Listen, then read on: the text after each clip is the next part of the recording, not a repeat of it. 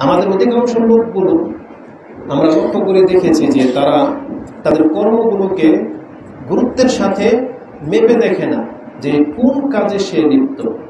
অধিকাংশ ব্যক্তিদের কাজ হচ্ছে উদ্দেশ্যহীন মানে উদ্দেশ্যবিহীন সে কাজ করে। কেন আজকে সে এই কাজটা করতেছে? কি তার উদ্দেশ্য? কি তার লাভ বা ক্ষতি সেগুলো ভাবে না। খামাখাই একটা লোককে আপনি দেখবেন রাস্তার পাড়ায় বসে আছে। খামাখাই দেখবেন যে এখানে মাছ ধরা হচ্ছে, কেউ তো মাছ ধরতেছে তার প্রয়োজনে, আর বাকিরা দাঁড়িয়ে দাঁড়িয়ে তামসা দেখতেছে। যে লোকটা দাঁড়িয়ে আছে, এ কি বলতে পারবে যে মাছ ধরা দেখে যে কয়েক ঘণ্টা সে নষ্ট করল, এতে তার কি লাভ? কি লাভ তার? যতক্ষণ পর্যন্ত একটা লোক এই মাছ ধরা দেখার জন্য চারপাশে দাঁড়িয়ে থাকে, কোনো ব্যক্তিকে আজ পর্যন্ত এমন উপস্থিত আছেন যে অনেকে অনেক মাছ পাওয়ার পরে যাওয়ার সময় আমাকে একটা মাছ দিয়ে গেছে। আজ পর্যন্ত ঘটেছে এরকম কারোর সাথে? ঘটেনি। কিন্তু আপনি দাঁড়িয়ে আছেন ছায় কি লাভ আপনি জানেন না। কথার প্রেক্ষিতে আমরা যখন কথা বলতেছিলাম, একেবারে অধম ব্যক্তিদের খেলা কি হতে পারে? যাদের বিদ্যা বুদ্ধি কিচ্ছু নাই। একটা খেলা হচ্ছে গল্ফ খেলা যে মাঠ আছে না, বিশাল মাঠ করা থাকে, একটা বলকে বাড়ি দেবে, সেটা উড়ে গিয়ে গড়তে পড়বে গল্ফ বলে না? মানে যারা একটু হাঁটতে চলতে পারে না, এটা তাদের খেলা, প্রতিবন্ধীদের খেলা, এক কথায় বলা চলে। কিন্তু এটাকে বেছে নিয়েছে পয়সাওয়ালা, কারণ তাদেরকেও তো একটা পয়সা খরচ করার জায়গা লাগবে, তাই না? কিন্তু এ জানে না লাভ ক্ষতি কি? তেমনি খেলা হচ্ছে ক্রাম খেলা। যারা ঘণ্টার পর ঘণ্টা নষ্ট করতেছে, দাবা খেলা। এমনকি খেলার মধ্যে যত রকমের খেলা আছে, সবের অন্তর্ভুক্ত হয়ে যাবে। কিন্তু ব্যতিক্রম হচ্ছে ফুটবল, ক্রিকেট, তাতে শরীরের একটু চর্চা হয়, কিন্তু তা কিন্তু আপনাকে হালাল করে দেবে না। খেলার পেশাটাই হচ্ছে হারাম, ওদিকে যাওয়াই যাবে এটা কোনোদিন মুসলিমের ইনকাম সোর্স হতে পারে এটা হতে পারে তার অসুস্থ যদি থেকে থাকে, একটু হাঁটা চলার জন্য সেটা করতে পারে। কিন্তু এটাকে পেশা হিসাবে যারা নেবে, এদের মতো অধম মনে হয় আর না। দ্বিতীয়ত হচ্ছে, এটা আমার টপিক্সের বিষয় না। আমি বোঝাতে চাচ্ছি সেই দিকগুলো, যে এই লোকগুলো নিজের সময়টাকে এইভাবে যে নষ্ট করে দিচ্ছে, এর রেজাল্টটা কি? সে কোনোদিন ভাবেও না যে এর সাথে আমার উদ্দেশ্য দ্বিতীয়ত হচ্ছে, কতক ব্যক্তি ইসলাম নয়, বরং বাতিলের উপরে টিকে আছে। বাতিল ধর্ম সে প্রচার করে, বাতিলের দিকে মানুষকে আহ্বান করে এর জন্য সে মেহনত করে। সে জানে না এটা তার লাভ ক্ষতি সেটাকে ভালো মনে করেই করে। ইসলাম ধর্ম ছাড়া যতগুলো ধর্মের লোকেরা আছে, যারা যে প্রচেষ্টাটা করে, তারা তো একটা লাভের জন্যই করে। কিন্তু তাদেরকে, তাদের এই কর্ম কোনোদিন লাভবান করতে পারবে না। কারণ আল্লাহ সুবাহ কোরআনে এই মর্মে স্পষ্ট ভাষায় বলে দিয়েছেন যে গায়রাল ইসলামি দীনান ফালা ইউকবালা মিনহু, ওয়া ফিল আখিরাতি মিনাল খাসিরিন। সূরা আলে ইমরানের 85 নম্বর আয়াতে আপনি পেয়ে যাবেন, যে আল্লাহ বলেছেন, ইসলাম ছাড়া যদি কেউ অন্য কোনো ধর্ম তালাশ করে, তার কাছ থেকে আল্লাহ কোনোদিন কিছু গ্রহণ করবে না, আর এই ব্যক্তি হবে ক্ষতিগ্রস্তদের একজন। তো যারা ধর্মের বাইরে থেকে প্রচেষ্টা চালাচ্ছে, তারা একবারে নির্ঘাত বিফলে যাচ্ছে। এবার আসুন মুসলিমদের মধ্যে।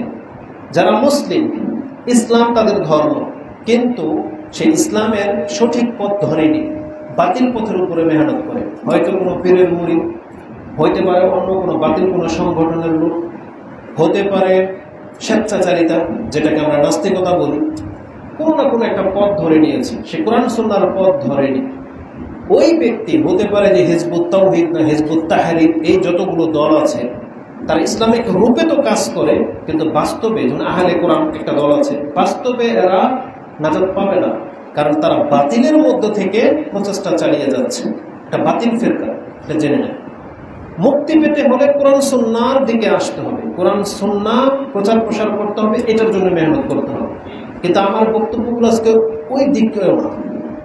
আমার বক্তব্যটা হচ্ছে আজকে যে আমরা যারা সাধারণ মুসলিম আছি, আমরা একটু বুঝি যে হিজবুত তৌহিদ হিজবুত তাহারির উমুক তমুক সংগঠন, খারেজি, রাফিদ, এগুলো সব বাতিল। এটা আপনিও জানেন আমিও জানি খেতামশা করা পাপ, এটা সবাই জানে। তো আমরা যারা এত কিছু জেনে বুঝে সময়টাকে মূল্যায়ন করছি না, আজকের বক্তব্যটা হচ্ছে তাদের জন্য, আমাদের জন্য। যারা আমরা নিজেদেরকে একটু হালাল উপার্জনের সাথেও জড়িয়ে রেখেছি, সৎভাবে চলতেও চাই, ধর্মকর্ম করি দাঁড়িয়েও রেখেছি, টুপিও করি কিন্তু আমাদের সারাদিন যে কেটে যায়, দেখা যাচ্ছে পুরাটাই চলে যায় উদাসীনতায়। বা ওই যে আলফাল কাজে বললাম যেমনটা অযথায় দাঁড়িয়ে আছে, মাঠে বসে আছে, কক্সবাজারে চলে যায়, বান্দরবন চলে যায়, অযথায়। এটা আপনার কোনো লাভ করে দিবেন আপনাকে তাদের জন্য হচ্ছে আজকের বিষয়টা। কর্ম, এটা এমন একটা ব্যাপার, আমি কোরআন হাদিস থেকে যেটা পাচ্ছি, কর্মটাকে আল্লাহ সুবাহ তালা হয় জান্নাত না হয় জাহান নামের কারণ করেছেন কর্ম। এই কর্ম মানুষকে জান্নাত নিয়ে যাবে, কর্মই মানুষকে জাহান নামে যা যেতে বাধ্য করবে। কর্মই মানুষকে আল্লাহর রহমত পেতে কর্ম তাকে সাপোর্ট করবে, আবার আল্লাহর অসন্তুষ্টির কারণে কর্মই। তার মানে কর্মটাকে আল্লাহ সুবাহ মূল মাদ্দা বলেছেন, সাবাব। মানে তোমার এই পরিণতি কেন? আল্লাহ বলবে, এটা তোমার কর্ম। জান্নাতিদেরকেও বলা হবে, এটা তোমার কর্মের কারণ। জাহান্নামীদেরকে বলা হবে, এটা তোমার কর্মের কারণ হয়েছে। এই কথাগুলো কোরআনে আছে, সেটা আমি আপনার কাছে তুলে ধরব। কর্ম এতটা সেন্সিটিভ বিষয় এই সম্পর্কে যে কর্ম মানুষকে যে ক্ষতিগ্রস্ত করে, এই সম্পর্কে কোরআনে সুরা ঘাসিয়া যেটা প্রত্যেক জুমায় ইমাম আপনাদেরকে দিয়ে যে সুরা দিয়ে সালাত আদায় করে থাকে, সুরা আল ঘাসিয়া তাতে কি আছে? হাল আতাকা হাদিসুল ঘাসিয়া আচ্ছাদনকারের ঘটনা কি তোমাদের কাছে পৌঁছেছে? যেই দিন কটক চেহারা হবে, ভীত সন্ত্রস্ত। মানে ভয়ে মানুষের মানুষের অন্তরে যদি ভয় থাকে, তাহলে তার চেহারাতে সেটা কিছুটা ফুটে ওঠে। আল্লাহ বলতেছেন ওজো হয়ে দিন খাসিয়া কারণ কি? আল্লাহ বলছেন, আমেলাতুন নাসিবা। তার কর্মই হলো তার আজকের ভয়ের মূল কারণ। আমেলা, আমেলাতুন নাসিবা। তাসলাম আর সে উত্তপ্ত আগুনের মধ্যে পতিত হবে। খুব শীঘ্রই, আল্লাহ বলছে, খুব শীঘ্রই সে আগুনের মধ্যে পতিত হবে। এর জন্য তার ভয়, কারণ জাহান্নাম তো সচককে দেখে ফেলেছে। এই একটা আয়াত একটা আশ্চর্যজনক একটা আয়াত। কেমন আয়াত আপনি জানেন? এই আয়াতে আল্লাহ বলেছেন হাসি আমিরাতুল নাসিবা তার কর্মই হলো তার আজকের ভয়ের কারণ। এখানে কিন্তু আল্লাহ সুবাহ তালা কোনো জেনাকার, কোনো মদখোর, কোনো হত্যাকারী মানে প্রকাশ্য পাপ যেগুলো মানে পাপের রূপের পাপ। একটা আছে নেকির রূপে পাপ, আর একটা হচ্ছে পাপের রূপে পাপ। এটা বোঝেন? যেমন একটা লোক মদ খাচ্ছে, ও নিজেও বলে না যে আমি নেকির কাজ করতেছি, আর আপনিও বলবেন যে ও পাপে লিপ্ত। একটা লোক সিগারেট খাচ্ছে, জর্দা খাচ্ছে। একটা লোক মহিলার সাথে জানা করতেছে বা কিছু। আপনি দেখেই বলবেন যে ও তো পাপি, পাপ পাপ কাজে লিপ্ত। যারা উলঙ্গ ফিল্ম দেখতেছে, আপনি দেখেই বলতেছেন পাপ কাজে লিপ্ত। এই ব্যক্তিদের সম্পর্কে বলা হচ্ছে না, এরা পাপের রূপের কোনো পাপের কাজে লিপ্ত না। যে তার কর্মই তাকে জাহান নামের মূল কারণ হবে। মূলত এখানে আল্লাহ তালা ওই ব্যক্তিদের সম্পর্কে কথা বলেছেন, যারা ভালো কাজ করেছে, কিন্তু শরীয়ত বিমুখ, ইসলাম বিমুখ। মানে আল্লাহর পক্ষ থেকে যেই কাজ যেভাবে করার আদেশ করা হয়েছিল, সে সেই কাজটি এইভাবে করেনি। যেমন ধরে নেন, সে সালাতে আদায় করতেছে। সালাত একটা ইবাদত, নামাজ এক্সাম্পল দিলাম। কিন্তু সে নামাজটা রাসুল্লাহ সাল্লাহ আলহি ওয়াসাল্লাম থেকে প্রমাণিত এমন কোনো সালাত না। নতুন একটা সালাত। নতুন ধ্যান ধারণার ভিত্তিতে সালাত। যেমন ঈদে মিলাদুলনবী গেল কয়েকদিন আগে বাংলার জমিনের বহু অঞ্চল এটাকে শান শৌকতের সাথে পালন করেছে। এমনকি লিফলেট বা দেখতে পেলাম, লেখা আছে, নব্বই দিনের তফসির মাহফিল, নব্বই দিন ব্যাপী চলবে। কিসের জন্য? এটা হচ্ছে সাইয়েদুল আয়াদ সমস্ত ঈদের নেতা, যেই দিন, সেটা, সেই সম্পর্কে। মানে রাসুসলামের জন্মের দিনকে বুঝিয়েছে সাইয়েদুল আয়াদ মানে যত রকমের ঈদ আছে, তার চেয়ে সব থেকে বড় ঈদ হচ্ছে ঈদ মিলাদুলনবী এটা তাদের হেডিং। এটা তারা পালন করেছে। আমাদের দাবি, এটা যদি শরীয়ত না হয়ে থাকে, তাহলে এই ঈদে মিলাদুলনবী তাকে জান্নাতে নয়, বরং জাহান নামে পৌঁছাবে। আল্লাহ কি বলেছেন? আমিলাতুন নাসিবা। তার মানে মূল সার কথাটা হচ্ছে, একজন ব্যক্তি নেকির শুরুতে, নেকি করতেছে, কিন্তু সেটা যদি আল্লাহর নাজিলকৃত না হয় সেটা যদি আমাদের শরীয়তের বহির্ভূত হয়, তাহলে সেই ব্যক্তি এই কর্মর কারণে সে ধ্বংস হবে। আরেকটা এক্সাম্পল নিয়ে পীর ধরা। যারা পীর ধরে, পীরের পা চাটে, পীরের গোসল করা, পানি খায়, এটা তো সে বরকতের জন্য করতেছে, ভালো মনে করে করতেছে। কিন্তু এটা যদি শরীয়ত না হয়, তাহলে এ কিন্তু এই কাজের কারণে ধরা খেয়ে যাবে। এবার আমি আমাদের থেকে মূল সার কথায় আসে যে এই আয়াতের ব্যাখ্যাটা কি? কাদেরকে দিয়ে বেশি স্পষ্ট বুঝতে পারবেন? কারণ এগুলো বলতে গেলে আপনার মধ্যে একটা সন্দেহ তৈরি হবে, সংশয়, যে হুজুর মনে অন্য গ্রুপের। এটা মনে হবে আপনার। তা তফসির যারা করেছেন, তারা এই আয়াতকে কোন সেন্সে নিয়েছেন? তাদের মধ্যে আব্দুল ইবনে আব্বাস, যার নামটা সবার প্রথমে রাখতে হবে। কারণ কোরআনের তফসির তার চাইতে বেশি এই উম্মতের কেউ বুঝতে পারতেন না। আবু বকর ওমর ওসমানের পরে হচ্ছে তার স্থান মানে যুবকদের মধ্যে বা পরবর্তীদের মধ্যে তিনি হলেন সব থেকে বেশি বিজ্ঞ। কাদের মধ্যে বললাম? আবু বকর তো শীর্ষে রাদিয়াল্লাহ তালাহু তারপর ওমর রাদিয়াল্লাহ তালাহু তারপরে ওসমান আলী, এরা যারা আছেন, তাদের পরে হচ্ছে মুফাসির কোরআন হচ্ছেন আব্দুল ইবনে আব্বাস, রাদিয়াল্লাহ তালাহু তার কথা তিনি তার থেকে কোট করেছেন আবু, তিনি তার থেকে কোট করেছেন ইমাম বুখারি রাহমাহুল্লাহ, যে আমিলাতুন নাসিবা এর ট্রান্সলেট করেছেন, তাফসির করেছেন ইবনু আব্বাস। এখানে আল্লাহ সুবহানাহু ওয়া তাআলা খ্রিস্টানদেরকে বুঝিয়েছেন আর নাসারা উদ্দেশ্য হচ্ছে এখানে খ্রিস্টানরা, নাসারা। কেন খ্রিস্টানরা ওই দল যে আমল করে জাহান্নামে? আল্লাহ কেন তাদেরকে বলেছেন আমিলাতুন নাসিবা? তার মানে আল্লাহ বোঝাতে চাচ্ছেন, কেয়ামতের মাঠে খ্রিস্টানরা চরমভাবে বিপর্যয়ে পড়বে। যারা অনেক মেহনত করেছে, বর্তমানে কিন্তু খ্রিস্ট অনেক ভালো ভালো কাজ করে। মুসলিমদের চাইতে কম অংশ নয়, দানের ক্ষেত্রে তারা আগে আগে বেড়ে। অন্যের উপকার করা, অন্যের যে চিকিৎসা, চিকিৎসার ক্ষেত্রে তারা যে অনেক কিছু দান করে ডোনার করে, খ্রিস্টান প্লেয়ার, খ্রিস্টান নায়ক নায়িকা অভাব নেই, তারা আছে। তারা অনেক জনকল্যাণমূলক কাজ করে। তারপরে তারা ধার্মিকও। ধর্মের দিক থেকে ইহুদিদের চেয়ে তারা ধার্মিকও বটে। তো এই খ্রিস্টানদের সম্পর্কে আল্লাহ বলেছেন, আমিলাতুন তার কর্মই তাকে জাহান নামের মূল কারণ হবে, যার ফলে কেয়ামতের মাঠের চেহারা কালো হয়ে যাবে যে হ্যাঁ আমি ইবাদত তো করেছি, কিন্তু ইসলামের খেলাফ মানে মোহাম্মদ সাল্লাহ আলী ইসলামের শরীয়তের উপর আমি ছিলাম না। তিনি তার মতের উপরে ছিলেন। এই জন্য সে আল্লাহ বলেছেন, তার কর্মই তাকে জাহান নামের দিকে নিয়ে যাবে। আরেকটা এর তফসির নিয়ে নেন। আব্দুর রাজ্জাক তার তফসির উল্লেখ করেছেন ইবনু উমার রাদিয়াল্লাহু তাআলা আনহুমা থেকে যে মাররা উমার ইবনুল খাত্তাব বিদারে রাহিবিন একটা রাহেবের কুঠি মানে জঙ্গলের মধ্যে যে খ্রিস্টানরা মেহনত করতো না, এটা ছোট্ট একটা ছামরার ভিতরে একটা রাহেব ছিল যেখানে থেকে সে আল্লাহর ইবাদত করত। এর পাশ দিয়ে যখন উমর রাদিয়াল্লাহু যাচ্ছিলেন সিরিয়ার সফরে, তখন ফানাদা, ইয়া রাহেব, রাহেবকে বাইরে থেকে আব্দুল ওমর ইবুল খাত্তাব, তখন তিনি রাষ্ট্রের নায়ক, খলিফা, তিনি ডাকলেন, ইয়া রাহেব আশরাফা যখনই রাহেব কুটির ভিতর থেকে বেরিয়ে আসছে, আশরাফা মানে হচ্ছে তার হুলিয়াটা যখন সামনে প্রকাশ পেয়ে গেল, ফানাজারা ওমর ইলাই ওয়াবকি ওমর রাদিয়াল্লাহু তাআলা সে রাহেবের দিকে তাকালেন, মাথা থেকে পা পর্যন্ত তাকানোর পরে কেঁদে দিলেন। কেলালাহ তাকে বলা হলো মায়ুব কে কে মায়ুব কি কামিন হাজা। এর মধ্যে এমন কি দেখেছেন বা কি আছে যেটা আপনাকে কাঁদিয়ে দিল বা আপনার চোখে পানি চলে আসছে? কি সেটা? তখন ওমর রাদিয়াল্লাহু তাআলা বলছেন জাকার তো জাল। আমার এই মুহূর্তে আল্লাহ তাআলার সেই আয়াতের কথা স্মরণ হয়ে গেছে যে আল্লাহ বলেছেন আমিলাতুন নাসিবা তাসলা নারা হামিয়া, যে কতক ব্যক্তির চেহারা তো কালো হবে, তার আমলের কারণে সে ধ্বংস হবে, সে জাহান নামে পতিত হবে।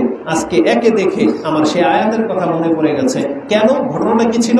সেই ব্যক্তি জঙ্গলে থেকে এত কঠোর মেহনত করত, সে গাছের পাতা পাতা খেয়ে থাকতো, তার চামড়াটা হাড্ডির সাথে লেগে গিয়েছিল গোস্ত ছিল না। একজন ব্যক্তি আল্লাহকে পাওয়ার জন্য এতটা মেহনত করেছে যে সে লোকালয়ে আসেনি। জঙ্গলে বসবাস করেছে ইবাদত করেছে, তার চামড়াটা লেগে গেছে হাড্ডির সাথে। আচ্ছা এই ব্যক্তি তো প্রশংসার পাত্র হওয়ার কথা ছিল। প্রশংসার পাত্র হওয়ার কথা ছিল। আমরা শহরে চলাচল করি, আমাদের সংসার আছে, আমরা খাচ্ছি, দাচ্ছি, আমোদ ফুর্তি সবই করতেছি। কিন্তু আমাদের এই এই হুকুম দরকার ছিল যে তোমরা তোমাদের কর্মের কারণে ধ্বংস হবে। কিন্তু বলা হচ্ছে খ্রিস্টানকে, ওই ব্যক্তিকে যে ইসলাম শরীয়তকে গ্রহণ করে সে ওই রোহবানিয়াতকে গ্রহণ করেছে। সংসার ধর্ম করেনি। রাসুসলামের সুন্না যেটা, সেটার খেলাফ সে চলেছে। মানে রাসুসলামের আনিত যে শরীয়ত, সেটাকে সে মানেনি। ভিন্নভাবে সে আল্লাহকে পাওয়ার জন্য চেষ্টা করেছে। ওমর রদিয়াল্লাহ তাকে দেখে এই আয়াত তার ক্ষেত্রে ফিট করে দিয়েছেন যে এই ব্যক্তি হলো সেই ব্যক্তি, যেই ব্যক্তি এত মেহনত করেও জাহান নামে যাবে। আপনারা কি ভাববেন?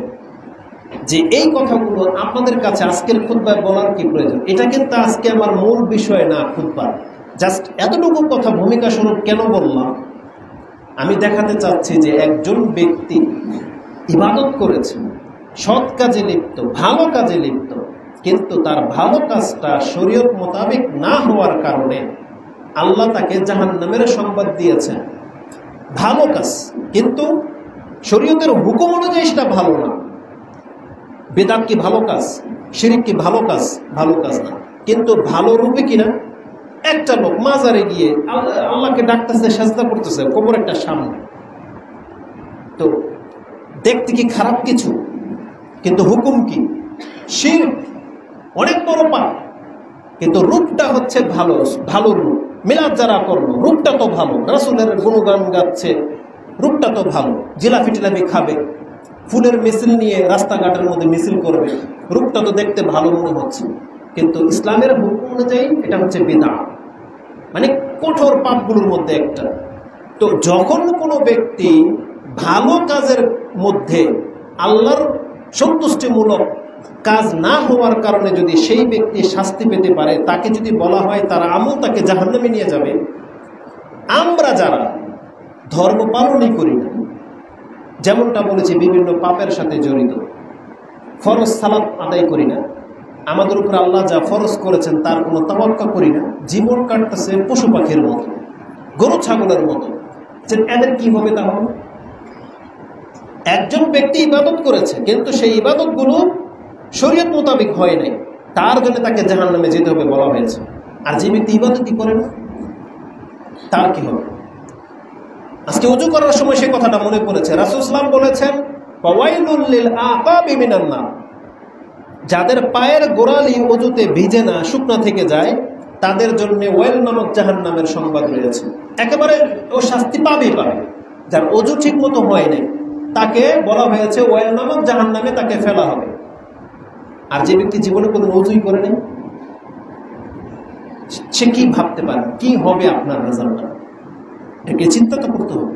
যে যেই ব্যক্তি অজু করে, কিন্তু অজুতে যদি কোনো আর পায়ের গোড়ালি কিছুটা শুকনো থাকে, অজুটা প্রপারলি না হওয়ার কারণে তাকে বলা হয়েছে জাহান নামে যেতে হবে। আর যেই ব্যক্তি জীবনে অজুই করল, নামাজই করে তার রেজাল্টটা কি হবে? সে কোনোদিন ভাবে। আল্লাহ বলেছেন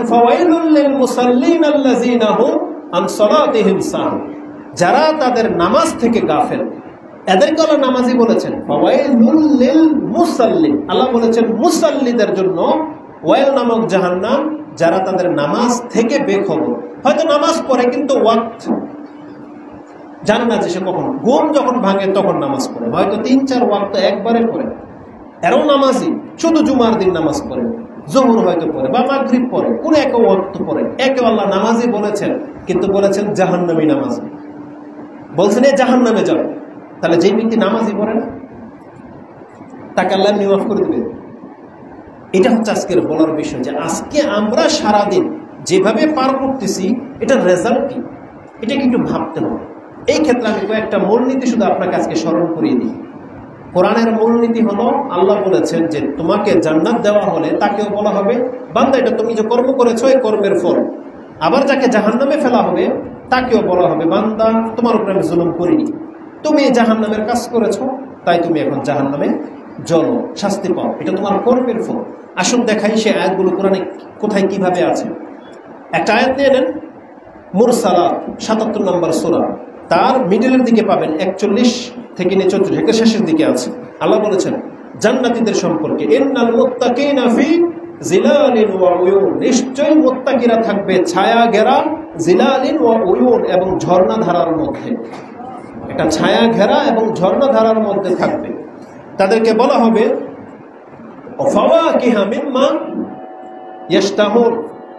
এমন ফল ফলাদি তাদেরকে দেওয়া হবে, মন যখন যা চায় তা।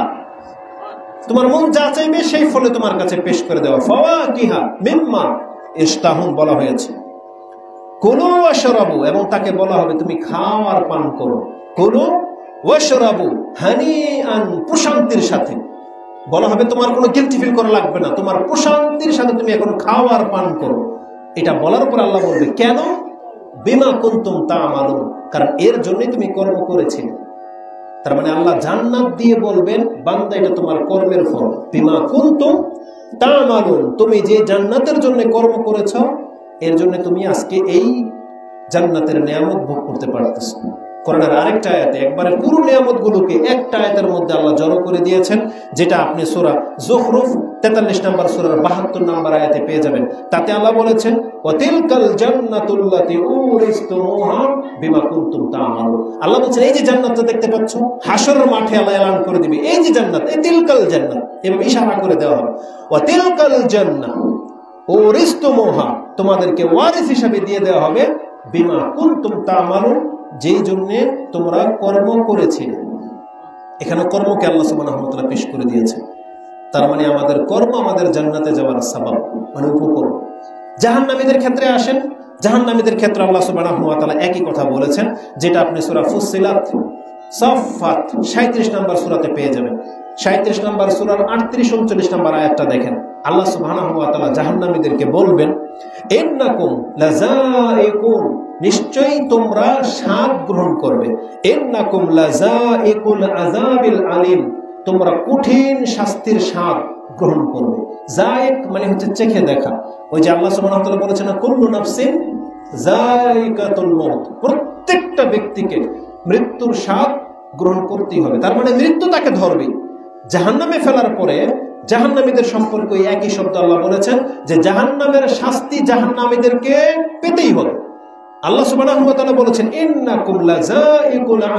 আলিম। নিশ্চয়ই তোমরা কঠিন শাস্তির স্বাদ এখন চাখো আল্লাহ এটা বলবে কেন? অমা তুজজাউনা ইল্লা মা কুনতুম তা'মালুন। অমা তুজজাউনা, আল্লাহ বলেছেন জাহান্নামীদেরকে বলা হবে, আজকে আমি এর চেয়ে বেশি কোনো শাস্তি তোমাদেরকে দেব না, যাজা দেব না, ইল্লা, তবে মা কুনতুম তা'মালুন, যতটা করেছ ততটা শাস্তি পাবে। তার মানে এখানে আল্লাহ তাআলা কর্মটাকে পেশ করে দিয়েছেন যে জান্নাতীদেরকেও বলা হবে তোমার কর্মের ফল এটা বান্দা, জাহান্নামীকেও বলা হবে বান্দা এটা তোমার কর্মের ফল। কোরআনে আল্লাহ সুবহানাহু ওয়া তাআলা একটা আয়াতের মধ্যে জান্নাতি জাহান্নামী দুই দলকেই উপস্থিত করে দিয়েছেন, যেটা আপনি সূরা 36 নম্বর সূরা সূরা ইয়াসিন, তার 14 নম্বর আয়াতে পেয়ে যাবেন। তাতে আল্লাহ সুবহানাহু ওয়া তাআলা বলেছেন ফালিয়াউমা লা তুযলামু নাফসুন শাইআ আজকে এমন একটা দিন, আজকে কোনো ব্যক্তির উপরে জুলুম করা হবে না। ওয়ালা তুজজাউনা আর কোনো ব্যক্তিকে অতিরিক্ত যাজাও দেওয়া হবে না। তবে আজকে অতটুকু শাস্তি দেওয়া হবে, অতটুকু জান্নাত দেওয়া হবে, ইল্লা মা কুনতুম তা'মালুন, যতটুকু তোমরা প্রাপ্য, যতটুকু তোমরা কর্ম করেছিলে। তার মানে হাসর মাঠ বিচার যখন শুরু হবে, আল্লাহ বলবে, আজকে আমার দল না দলের কোনো বিষয় না। ইনসাফ কায়েম হবে। সেটা কি? তুমি কতটা ভালো করেছ? জান্নাতের জন্য কি করেছ? তুমি ততটা প্রাপ্য পাবে। তুমি জাহান্নামের কাজ কতটা করেছ? ততটুকু বান্দা তোমাকে শাস্তি পেতে হবে। তার আমাদের কর্মটা হলো, জান্নাত না হয় জাহান্নামের সাবাব। সাবাব মানে হচ্ছে উপকরণ। কারণ কজ কারণ যেটা। যে এটার কারণে তোমাকে এটা দেওয়া হলো। তা আমাদের কর্মটাকে আল্লাহ ওয়া তাআলা পেশ করে দিবেন যে তুমি সারাদিন যা করেছ বান্দা, এটার উপরে আজকে তোমার বিচার হবে। এটার উপরে। তুমি কার বংশের? কোন দেশের? কোন ভাষা কত টাকার মালিক তুমি? আল্লাহ বলবে, এগুলো দেখে কোনো কাজ হবে না। নবীর ঘরের সন্তান হলেও কাজ হবে না, পীরের ঘরের তো দূরের কথা। আরব দেশ বলে কাজ হবে না, বাঙালি আর হবা মুসলিম হওয়া তো কোনো মানি রাখে না। আল্লাহ বলেছেন, তোমার কর্ম যা আজকে তোমাকে, সেটার ভোগান্তি ভুগতে হবে। তোমার কর্ম ভালো থাকলে তোমার জন্ম যদি মেতরের ঘরে হয়, তুমি জান্নাত পেয়ে যাইবা। তোমার কর্ম খারাপ হলে তুমি নবীর ঘরের হলে তোমার কাছে ছাড়া হবে না। কারণ আল্লাহ ওয়া মূলনীতি এটা। তাহলে এই মূলনীতিটাকে সামনে রাখেন যে শুধু মুসলিম, আহলে হাদিস, উমুক তুমুক বললেই কিন্তু আপনি নাজাত পেয়ে যাচ্ছেন না। যদি পাওয়া যেত তাহলে আমরা শুধু আহলে হাদিস কেন? যদি জানতে পারতাম যে এই শব্দটাকে আল্লাহ বেশি পছন্দ করে, এটা বললে আল্লাহ মাফ করে দিবে, তাহলে এই শব্দ কেউ ছাড়তো? সবাই সেই শব্দই গ্রহণ করতো। যে কোনো দল নতুন করে আসে, দেখবেন ভালো ভালো নাম গ্রহণ করে। এই যে আমরা যাদেরকে খারিজি বলি, শিয়া, এদের মধ্যে একটা দলই আছে হিজবুল্লাহ, জানেন? হিজবুল্লাহ মানে কি? আল্লাহর দল। তাহলে এই দল কোনোদিন জাহান নামে যেতে পারে। কিন্তু আপনি বলতেছেন খারেজি। ব্যাপারটা এরকম।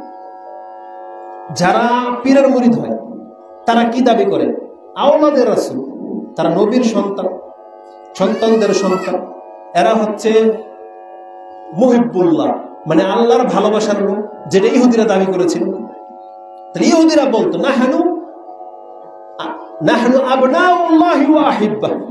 আমরা আল্লাহর সন্তানদের সন্তান এবং আমরা আল্লাহর কাছে মুহিব্বিন মানে বেশি ভালোবাসার পাত্র।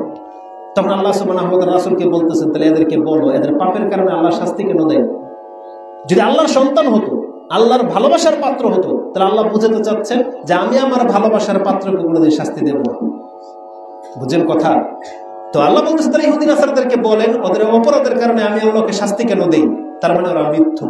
তার মানে আমরা যারা নিজেদেরকে মুসলিম বলি বা আরও ভালো ভালো নাম বলি, আল্লাহ বলছেন, বান্দা, তুমি এটা বললে তো নাজাত পাবে না।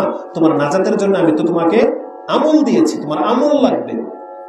এটাও আমি বলতে পারি, কোরআন থেকে আপনাকে দুইটা আয়াত বলতে পারি। সুরা বাকারা যদি লম্বা হয়ে যাবে এই জন্য আমি চাচ্ছিলাম না, হঠাৎ করে মনে পড়ে গেল। সুরা বাকারার বাষট্টি নম্বর আয়াত, সুরা মায়দার উনসত্তর নম্বর আয়াত। বাকারাতে বাষট্টি সিক্সটি টু মায়দাতে আছে সিক্সটি নাইন মানে উনসত্তর তাতে কি আছে? আল্লাহ সমস্ত দলকে এক এক করে নাম ধরে বলেছেন। আল্লাহ বলেছেন, প্রথমে বলেছেন মুসলিমদেরকে, ইয়া আইয়ুহাল্লাযীনা আমানু, ওয়াল্লাযীনা হাদু যত দলের লোকেরা আছে, কান খারাপ করে শোনো। আল্লাহ প্রথমে ইমানদারকে বলেছেন, যারা নিজেদেরকে মুসলিম বলে থাকো, তোমরা শোনো।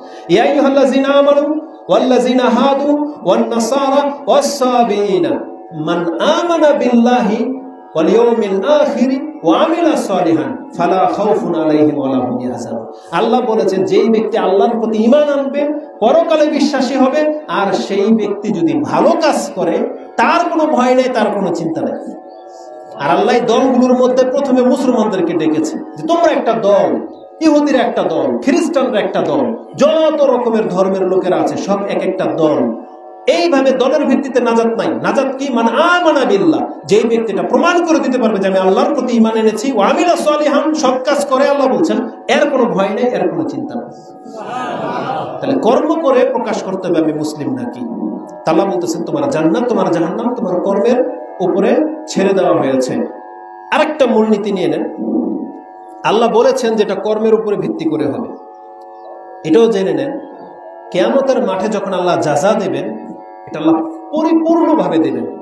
এমন না যে আমি ভালো কাজ করেছি, তার পরিপূর্ণ বদলা আল্লাহর কাছ থেকে নেব, আর পাপ যেহেতু করেছে, আল্লাহ হয়তো আমাকে আংশিক পাপ দিয়ে ছেড়ে দেখ একদিন, দুদিন ইহুদিরা বলেছিল কিন্তু এই কথা। কোনো মুসলমান যদি আকিদা রাখে যে আল্লাহ হয়তো আমাকে ধরলে কি করবে? একদিন মারবে, একদিন জাহান নামে জ্বালাবে, দুই একদিন।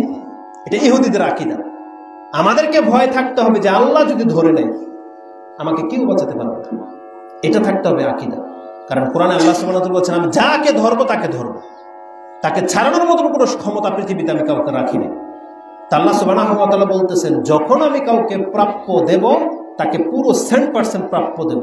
যাজা হলে যা যাজা পরিপূর্ণভাবে দেব, সাজা হলে শাস্তি কে বলে ও তাকে আমি দেখাই দেবো, আল্লাহ সে কথাগুলো এটা কোরআনের মূলনীতি তার মানে আপনি যা করেছেন, তার পরিপূর্ণ বদলা কেয়ামতের মাঠে দেওয়া হবে, কোনোটা মিসিং হবে না। কারণ এক টাকা যদি কেউ মেরে খেয়ে থাকে, আল্লাহ বলছে, এক টাকার বদলা তার কাছ থেকে আমি নিয়ে ছেড়ে দেব।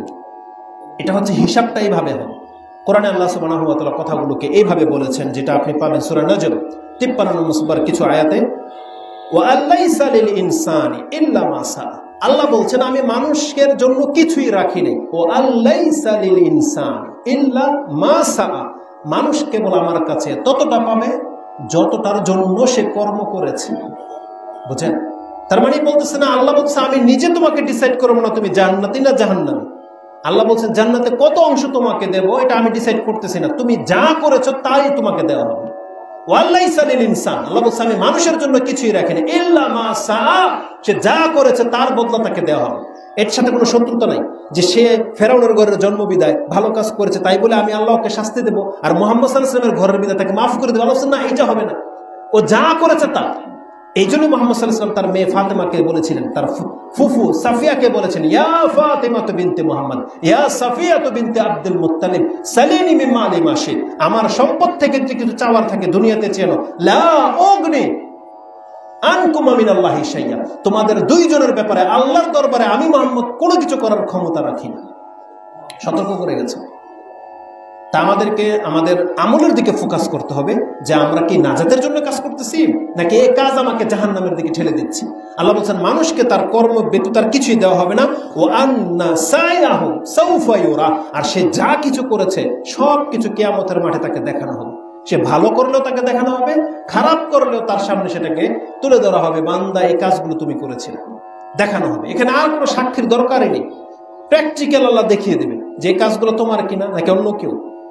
তারপর আল্লাহ কি বলেছেন? তারপরে তাকে তার কর্মের পরিপূর্ণ বদলা দেওয়া হবে। এটা খুব কঠিন কথা। আল্লাহ যদি বলতো, ঠিক আছে, তোমার পাপগুলো দেখানোর পরে এখন তুমি মুসলিম হিসেবে তোমার মাফ করে দিলাম আল্লাহ কি বলেছেন? এরপর আল্লাহ আউফা। তাকে আমি পরিপূর্ণ বদলা দেবে এখন। সে ভালো করলে পরিপূর্ণ বদলা পাবে, খারাপ করে থাকলে পরিপূর্ণ শাস্তি সে প্রাপ্ত হবে।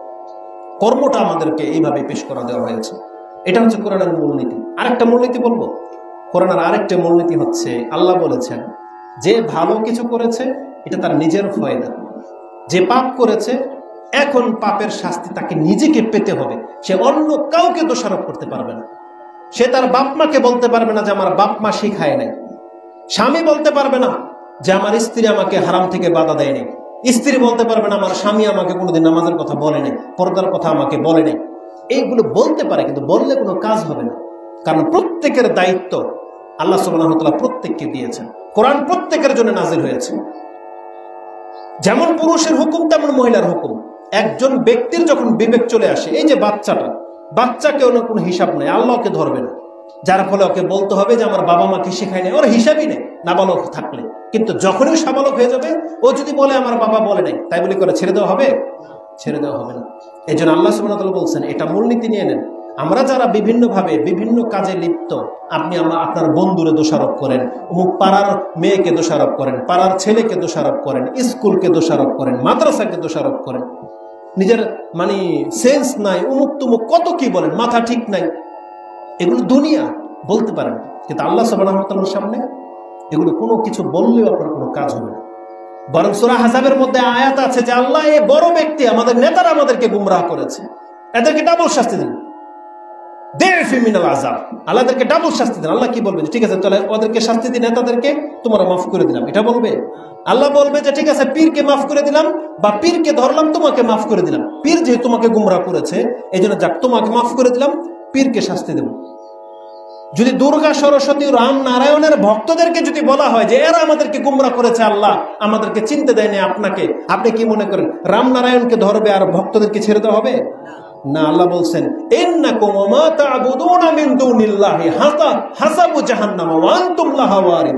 তোমরা আল্লাহকে ছেড়ে দিয়ে যাদের ইবাদত করতা, তাদেরকে লাকড়ি বানানো হবে আর সেই আগুনে তোমাদেরকে জ্বালানো হবে। তার মানে আল্লাহর খেলাফ যদি কোন পীর দাঁড়িয়ে যায়, আপনাকে যে ব্যক্তি গুমরাহ করেছে, আল্লাহ ওকে ছাড়া হবে না, আগুনটা ওকে দিয়ে জ্বালানো, আর তোকে ওই আগুনে ফেলা হবে তাহলে কোনো ব্যক্তি এটা যেন না ভাবে যে, আজকে আমার পাপের কারণে কে দায়ী? আমার বন্ধু দায়ী। আমার বাপ মা দায়ী, আমাকে শিখায় না অনেক মহিলারা পর্দা করে না, ছেলেরা নামাজ পড়ে না, বলছে, আমার বাপ মা এগুলো শিখায় না। ইসলাম, আমাদের ঘরে ইসলাম পালন হয় না। এইভাবে আমাদেরকে বলা হয়। আপনার কাছে জ্ঞান চলে আসছে? আপনাকে শুধরাতে হবে। দুনিয়া চলতেছে একরকম। কিন্তু আপনি তো মুসলিম, হিতাহিত জ্ঞান আপনার মধ্যে চলে আসছে। আমি আর আপনি তো সেই পথ ধরতে পারি না। তাহলে পার্থক্য কি জ্ঞানী আর মূর্খের মধ্যে? আল্লাহ বলছেন, সুরা জুমারের মধ্যে আপনি পেয়ে যাবেন, নয় নম্বর আয়াতের মধ্যে। আল্লাহ জিনা আলামুন আল্লাহ জিনা লা ইয়ালামুন। হাল ইয়াস্তাবি আল্লাযী ইয়ালামুন ওয়াল্লাযী লা ইয়ালামুন। হাল ইয়াস্তাবি আল্লাযীনা ইয়ালামুন ওয়াল্লাযীনা লা ইয়ালামুন। যারা জানে আর যারা জানে না, তারা কি সমান? আল্লাহ বলছেন, না, এটা কোন ক্ষেত্রে? যেমন মর্যাদার ক্ষেত্রে, তেমন হিসাব নিকাশের ক্ষেত্রে আল্লাহ বলবে, তুমি তো জানতা বান্দা, তোমাকে তো খুদ্ায় বলা হয়েছিল, তাহলে তুমি কেন তাদের পথ ধরেছিল? তুমি তো তুমি তো জানতা যে ইন্না লিল্লাহি যে আমরা আল্লাহর কাছ থেকে এসেছি, আল্লাহর কাছে ফিরে যেতে হবে। তুমি কেন তাদের রাস্তা ধরেছিল? যারা বলেছিল, ইন হেয়া ইল্লা হায়াতুনা দুনিয়া নামুতু ওয়া নাহইয়া ওয়া মা নাহনু বিমাবুসিন যারা বলতো যে আমাদের এই দুনিয়াটাই শেষ জীবন, আর কোনো জীবন নাই। যারা এমনটা বলতো, সে মদ খেয়েছে, তুমি কেন খেয়েছো? তুমি তো জানতা যে আল্লাহর কাছে তোমাকে আসতে হবে।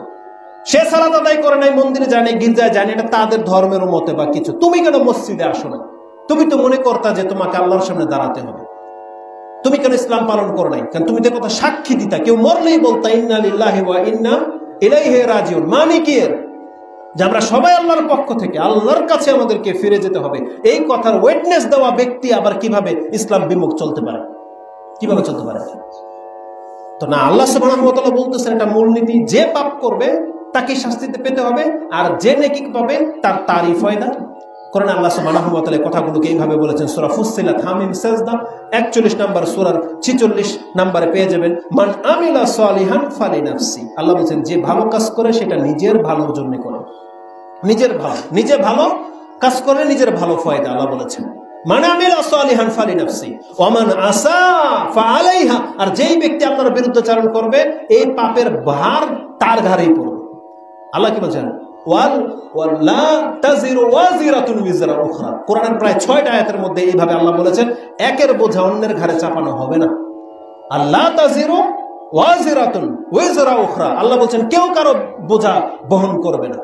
যদি এই, এটা এমন একটা কঠিন কথা। আজকে আমরা যারা পাপ করি, ওই যে বললাম, শয়তানকে দোষারোপ করি বন্ধু বান্ধবকে দোষারোপ করি কেমন তার মাঠে যদি অন্যের ঘাড়ে দোষ চাপিয়ে দিয়ে যদি বাঁচা যাইতো, আমরা সব মানুষ কিন্তু এটাই করতাম। সব পাপিয়ে রাস্তা গ্রহণ করতো। বলতো, আল্লাহ এই শয়তান আমাকে গুমরা করেছে। আল্লাহ এই বন্ধু, আমার এই বান্ধবী আমাকে গুমরা করেছে। কোরআন আল্লাহ বলছেন, নেতাদের সম্পর্কে বলেছেন যে একজন ব্যক্তি জাহান্নাম দেখার পরে সে চাইবে, আজকে যদি আমার সন্তানকে আল্লাহ নিয়ে নেয়, আল্লাহ যদি বলে যে তোকে মাফ করে দেব। সেই ব্যক্তি পারলে ওর সন্তান চোদ্দ গোষ্ঠীকে বলবে, আল্লাহ সব অপরাধী, আল্লাহ এদেরকে ধরো, আমাকে মাফ করো। এটা বলবে, কোরআনে আল্লাহ বলেছেন। কোথায় পাবেন আপনি সেই আয়াত? আপনি পেয়ে যাবেন সেটা সুরাল মারেজ সত্তর নাম্বার আয়াত। আল্লাহ সুবাহ সত্তর নাম্বার সুরাল দশ থেকে নিয়ে পড়েন, পেয়ে যাবেন। আল্লাহ কি বলেছেন? ওয়ালা ইয়াস আলু হামিমুন হামিমা। এমন একটা দিন আসতে যাচ্ছে, সেই দিন অন্তরঙ্গ কোনো বন্ধু, অন্তরঙ্গ বন্ধুর খবর নেবে না। ওয়ালা ইয়াস আলু হামিমুন হামিমা। ইউবাসসারুনাহুম। সেই দিন তারা জাহান্নামকে স্পষ্টভাবে দেখতে পাবে এবং একে অপরকেও দেখতে পাবে। ইউবাসসারুনাহুম। ইয়াওয়াদ্দুল মুজরিম। সেই দিন একজন অপরাধীর অবস্থাটা কেমন হবে আল্লাহ তুলে ধরতেছেন সেই কথাগুলো। হায়, যদি আজকে আমি আমার সন্তানের বিনিময়ে যদি জাহান্নামের আগুন থেকে বেঁচে যেতে পারি, সেটা চাইবে? যে আল্লাহ আমার সন্তানকে নিয়ে নয়, এরা তো আমার কথা শুনে না এদের কারণে আমি হারাম খেয়েছি আল্লাহ। এদের কারণে। আল্লাহ এদেরকে ধরো, আমাকে ছাড়ো। সে চাইবে এটা। যে আমি যদি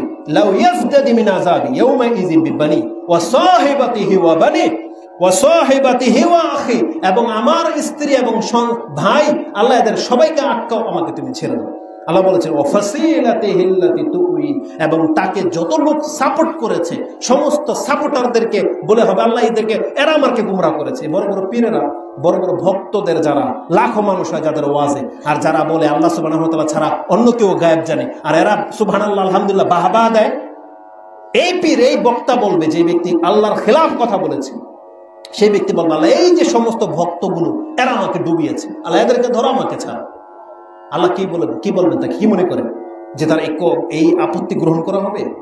আল্লাহ আকবর। আল্লাহ বলেছেন, ওমান সুম্মায়ুনজি এবং সে পারলে সমস্ত মানুষকে একদিকে ঠেলে দিয়ে বলবে সুম্মায়ুনজি আল্লাহ, তুমি আমাকে ছাড়ো। এটা প্রত্যেকটা মানুষের নেচা আল্লাহ বলবে, এটা আমি আর আপনি যে কেউ করব সেই দিন এই জন্য অন্ধ ভক্ত হওয়াটা এতটা বেশি ভালো না। আমাদেরকে, জ্ঞানীদেরকে চিনতে হবে। এর কথার প্রসঙ্গে একটা ভাই বলতেছিল যে, আজকে আমাদের যুবকদের বা আমাদের অবস্থাটা কি? আমরা আলেমদেরকে মূল্যায়ন করতে জানি না। আপনার অধিকাংশ মানুষ আমরা দেখেছি। আমাদেরকে বেশি প্রাধান্য দেন। ভাষার কারণে হয়তো, ভঙ্গিমার কারণে। কিন্তু আমরা প্রাধান্য দিই আমাদের শেখদেরকে। যাদের কাছ থেকে আমরা আকিদা শিখি, যাদের কাছ থেকে আমরা মাসলা, মাসাইল শিখি। অবশ্যই যদি আপনি হক পথে থাকতে চান, জ্ঞানীদেরকে প্রাধান্য দিতে হবে। মসজিদগুলোর মেম্বারগুলোতে বড় বড় শেখদেরকে, একটু খরচ হোক না, একটু লম্বা সময় নেন না, কিন্তু তাদের থেকে মাসলা গ্রহণ করতে হবে। বাঘ ভঙ্গিমা কথা ভালো লাগলেই যে আমাদের কাছ থেকে আপনি মাসলা গ্রহণ করবেন, এটা মোটেও কাম্য নয়। অবশ্যই বিজ্ঞ আলেমদের কাছ থেকে ধর্ম গ্রহণ করতে হবে, ইসলাম গ্রহণ করতে হবে, আমরা তাদেরকে মূল্যায়ন করি। হয়তো তারা আমাদের মতো তো বাকপটু না। তারা হয়তো কথা বলতে গেলে আটকে যায়, কিন্তু তাদের লিখনি, তাদের বোঝানোর ভঙ্গি মাসাল্লাহ সূক্ষ্ম সূক্ষ্ম বিষয় তারা আমাদেরকে গাইড করে। এই আমাদের, বিশেষ করে মাদানী আলেম যারা, তাদেরকে আপনি একটা চারটাখানে ওই যে সৌদি আরবের গোলাম বা দালাল ভাবলে এটা আপনার চরম বোকামি হবে। কারণ মদিনাতে যারা শিক্ষা দেয়, তারা মানহাজের উপরে শিখে। তারা সৌদি আরবের গোলামের উপরে শিখে না। হ্যাঁ সৌদি আরবের সরকার তাদেরকে সাপোর্ট করে আর্থিকভাবে। অনেক বড় একটা তার অবদান যে তাদেরকে ফ্রি পড়ালেখা করায়। কিন্তু সেখানে কি সৌদি আরবের ওই সরকারের পক্ষে কথা বলতে শিখায়? না, এটা হবে না। আপনি কেন এটা ভুলে গেলেন? আমি সেই কথাটা স্মরণ করে দিই। জানি না সত্য কিনা মিথ্যা। বর্তমান সৌদির বাদশার পিতা যিনি ছিল সৌদ তার সাথে নাকি আমেরিকার বা তেলের চুক্তি যখন হচ্ছিল, তাকে নাকি বলেছিল এরকম তাবুর নিচে যে আপনি যদি আমাদের কথাতে রদবদল করেন বা কিছু, কোন একটা প্রেক্ষিতে বলছে, আমরা তো উপর থেকে মিসাইল মেরে আপনাকে হালাক করে দিতে পারি, ধ্বংস করে দিতে পারি সৌদি আরবকে। সে সাউদ নাকি কোনো পেরেশানি হয় নাই। তিনি নাকি এইভাবে বলেছিলেন যে, তুমি আমার কাছ থেকে কি নিবা? আমরা তো খাই আর রুটি আর খেজুর, কি নিবা তুমি আমার কাছ থেকে? আর তুমি কত উপর থেকে মিজাল পাঠাইবা? আমাদের রক্ত তার উপরে। বুঝেন কথা? যে তোমার মিজাইল কত উপর থেকে আসবে? আমাদের রব তো তার উপরে আছেন। মিজাইল যদি আমাদের উপরে না পড়ে, ফুটবে কোথেকে তো কথা হচ্ছে যে সৌদি আরবের সবাই ধরেন, ধরে নেন সরকারের পাঁচাটা গোলাম। তা আল্লাহ সুবানা কি ঘুমায় আছে? রাষ্ট্রটা তো আল্লাহর। সেখানে আল্লাহর নবীর জন্ম। সেখানে ইসলাম এসেছে। আর সেই আরব যদি আল্লাহ সুবানাহুয়াতালাকে ধোকা দিয়ে, জাতিকে ধোকা দিয়ে সব সৌদি আরবের পাঁচাটা গোলামের যদি হয়ে যায় আলেম, তাহলে আল্লাহ সুবানাহুয়াতালা কি করে? মক্কার মসজিদের ইমামগুলো কি সব সৌদি আরবের পাঁচাটা গোলাম? আল্লাহ তাদের হাতে দিয়ে দায়িত্ব দিয়ে রেখেছে? তাহলে কথাবার্তা একটু হিসাব করে তো কথা বলতে হবে। কিছু দিক আছে হয়তো তারা শিথিল, কিছু দিক আছে তারা মেনে নেয় বীর বৃহৎ স্বার্থে, বা তারা টিকবে না জালেমের সামনে। কিন্তু তাই বলে সবাই বাঁচাটা গোলাম। ধরে নেই যদি তাহলে আল্লাহ আপনি বিচার করছেন না? মানে ইনসাফ কায়েম করবে তো কে? আল্লাহ নয়। ধরতে পারে কে? তাহলে আল্লাহ যখন দেখবে কোনো রাষ্ট্রে এমন কিছু হয়, আল্লাহ তাকে ছেড়ে দেবে। এটা বিশ্বাস রাখেন যে আমাদের সবকিছুর খবর নেওয়ার মালিক তো আল্লাহ। আল্লাহ সবকিছু দেখতেছে, কে কে করতেছে কার অন্তরে কি, সব আল্লাহ জানে। আল্লাহ তাকে ছেড়ে দেবে? ছেড়ে দেবে না। তাহলে ইমান রাখেন এরকম। না আমাদের আস্থা আছে, আমাদের শেখদের প্রতি। তারা কোরআন, হাদিস থেকে যথেষ্ট জ্ঞান গর্বের সাথে আমাদেরকে শিখায়। তবে আমরা কারও ভুল দেখলে ওই অন্য বাতিলপন্থীদের মতো নমনম করব না, তার সাপোর্ট করব না। অবশ্যই আমাদেরকে অনুসরণ করতে হবে ভদ্রতার সাথে, হকের সাথে। পাঁচাটা গিয়ে আমরা আমাদেরকে শেখানো হয়নি, আমরা আপনাদেরকে শেখানো সম্মান সম্মানের জায়গায়, ভদ্রতা ভদ্রতার জায়গায়। কিন্তু আল্লাহর হকের ক্ষেত্রে কোনো কম্প্রোমাইজ চলবে না। তো কথা হচ্ছে যে আল্লাহ বলতেছেন, কেয়ামতের মাঠে অনেক ব্যক্তি আছে যে সবাইকে জাহান নামে ঠেলে দিতে চাইবে, নিচে মুক্তি পেতে চাইবে। কিন্তু আল্লাহ কি বলেছেন? না এটা হবে না। যার পাপ, তাকে গ্রহণ করতে হবে। আর আল্লাহ কথাটাকে কসম করে বলেছেন, জানেন? কসম করে বলেছেন। আল্লাহ সুবহানা হুয়া তালা এমন ভাবে আমাদেরকে ভয় দেখিয়েছেন, যেটা সুরা লোকমানের সর্বশেষ আয়াতের একটা আয়াত আগে পেয়ে যাবেন। আল্লাহ কি বলেছেন? যে হে মানুষ, তোমরা তোমাদের রবকে ভয় করো। এমন একটা দিন আসতে যাচ্ছে, ভয় করো সেই দিনকে।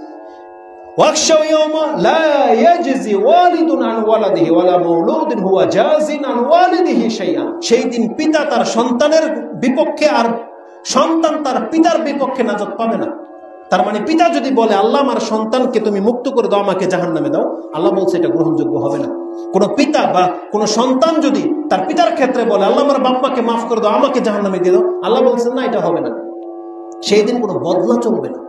তার মানে যার পাপ, তাকে শাস্তি পেতে হবে। যার নেকি, তাকে আল্লাহ সবানা জান্নাত দিয়ে দিবে। এটা হচ্ছে মূলনীতি এখন যেহেতু গরম অনেক লাগতেছে সময় অনেক হয়েছে কিন্তু আমার বক্তব্যের এটা ছিল ভূমিকা যে প্রত্যেক ব্যক্তির পাপের কর্মের ফল তাকে পেতে হবে। নেকি করলে সে জান্নাত পাবে। কিন্তু আমি আগে বাড়তে গেলে অনেক সময় লেগে যাবে। আমি আসলে যে মূল বিষয়টা আমি শুধু একটা হাদিস বলি, যেটা অত্যন্ত জরুরি। রাসুল্লাহ সাল্লাহ আলি সাল্লাম বলেছেন একদিন, কে জান্নাতি আর কে জাহান্নামি? এটা কিন্তু ফাইনাল হয়ে আছে। যদি কথা এতটুকু হইতো, ওই আপনারা অধিকাংশ মানুষ নাস্তিকদের মতন কথা বলতেন। তাহলে ফাইনাল যখন হয়েই গেছে, নামাজ পড়ল জান্নাতি, না পড়ল জান্নাতি। চুরি করলেও জাহান্নামি না করলেও জাহান্নামি যদি ফাইনাল হয়েই গিয়ে থাকে। কিন্তু রাসুল্লাহ কি বলেছেন? তবে তোমাকে জানানো হয়েছে, তুমি জান্নাতি না জাহান্নামি? জানতে চাও? কে জানতে চায়? রাসুল্লাহ বলছেন, কে জানতে চায়? পুরো পৃথিবীবাসীকে। গায়েবের খবর জানিয়ে দেওয়া হয়েছে, কে জান্নাতি, কে জাহান্নামি? সে যদি গ্লাসে দাঁড়ায়, দেখতে পাবে। এখন আসেন আমি আর আপনি। জান্নাতি না জাহান্নামি? এটা গোপন এটা তথ্য, জানতে চাই। কীভাবে বুঝবেন? রাসুসলাম বলছেন, তুমি যদি জান্নাতি না জাহান্নামি আল্লাহ সুবাহ বুঝার একটা সহজ টেস্ট তোমাকে করে দিয়েছেন। এই টেস্ট করালে তুমি পেয়ে যাবে, তুমি জান্নাতি না জাহান্নামি। বলছেন, কুল্লুন মুয়াসসারুন লিমা খুলিকালাহ প্রত্যেক ব্যক্তিকে কোন জায়গার জন্য সৃষ্টি করা হয়েছে, জান্নাতের জন্য না জাহান্নামের জন্য? ওই কাজ করা তার জন্য সহজ। এবার আমি সহজ করে বুঝাই। আল্লাহর ওয়া জান্নাত সৃষ্টি করেছেন জান্নাতীদেরকেও সৃষ্টি করেছেন। এটা কিন্তু আমার ভাষা না রাসুসলামের ভাষা। আল্লাহ জান্নাত সৃষ্টি করেছেন জান্নাতিদেরকেও সৃষ্টি করেছেন। আল্লাহ জাহান্নাম সৃষ্টি করেছেন জাহান্নামীদেরকেও সৃষ্টি